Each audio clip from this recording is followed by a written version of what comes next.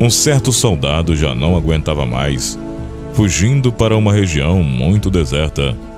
Estava com um dia e meio que não comia nada, muito revoltado da vida. E para completar, ele leva uma topada que chega a cair no chão. E com muita raiva, ele arranca a pedra do chão, colocou a pedra em sua bolsa. A carga dele já estava pesada de longe ele avistou uma pequena aldeia com o povoado. Logo na entrada estava escrito: Aqui é cada um por si, ninguém se fala.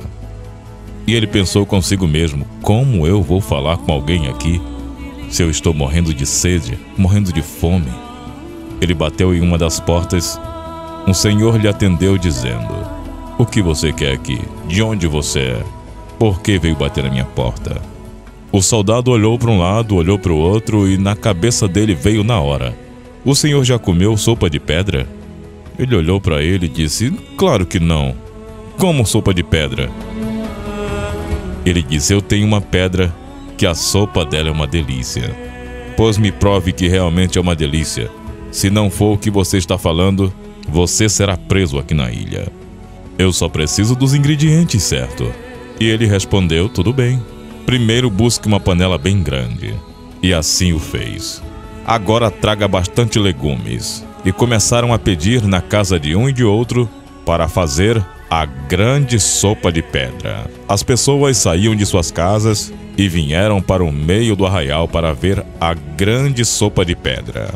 Primeiramente água, tomate, cebola, batata, temperos, entre sal e outros. É unido todos olhando agora a expectativa e perguntaram: Já está ok? Ele disse: Ainda está faltando. Alguém aqui tem a carne? E assim o fazendeiro da cidade trouxe bastante carne, mocotó. Foram preparando a sopa. Quando já estava quase tudo preparado, ele disse: Agora eu vou colocar a pedra no meio. Lavou a pedra e colocou no meio da água a pedra lavada no meio da sopa. Tempos depois, a sopa ficou pronta e começaram a se alimentar daquela sopa. Todos admirados, acharam uma verdadeira delícia.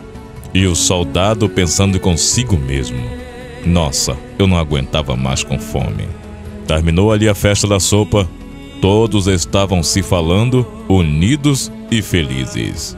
O soldado, quando ia sair de fininho, ele foi capturado e perguntou: O que está acontecendo? Eles falaram: Para onde você pensa que vai? Eu estou indo embora seguir a minha caminhada. Quanto que você quer nesta pedra? Eu não posso vender. Tudo que eu tenho é esta pedra. Os grandes ricos e fazendeiros daquela região disseram para ele: Pagamos quanto você quiser nessa pedra. Mas é apenas uma pedra? Falaram dizendo não é apenas uma pedra. Esta pedra queremos colocar na entrada da cidade e mudar o nome que está escrito lá. Depois que essa pedra chegou aqui, todas as pessoas estão se falando. E todos querem fazer uma tradição todo mês. Sopa de pedra, a sopa da união. Aprenda uma coisa: o que fez o soldado cair foi a pedra. Mas mesmo assim ele não abandonou. Ele carregou, deixou todas as suas cargas para trás e levou a sua pedra. Será que você tem aguentado mesmo a carregar sua própria carga? Transforme a sua carga em lucro. É só usar uma simples estratégia.